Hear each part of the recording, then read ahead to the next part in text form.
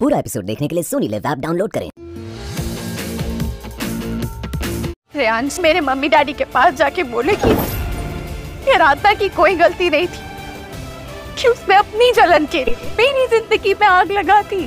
रे रोकना होगा इसे जैसे तुम रोकोगी ये तुमने किया है that's your fault you fired तुमने आज एक औरत के साथ गलत किया है उस पर झूठे झूठे इल्ज़ाम लगा नमस्कार दोस्तों बरसात सीरियल में अब रियान से जो आराधना के घर जाता है उसके पापा मम्मी से मिलने के लिए, लेकिन उनको पता चलता है कि आराधना को घर से निकाल दिया है। उसके बाद में क्या होता है कि रियांश को सुनैना कहती है कि इसको रोकना होगा तो रियांश सुनैना पर गुस्सा होता है और कहता है कि ये सब तेरी वजह से हुआ है, तुझे ही इसे रोकना होगा।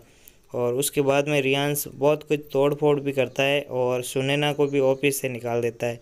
तो आगे वाले एपिसोड में क्या होने वाला है, देखते रहिए। आज तो बस यही होने वाला है। तो लाइक करें सब्सक्राइब करें कमेंट करें।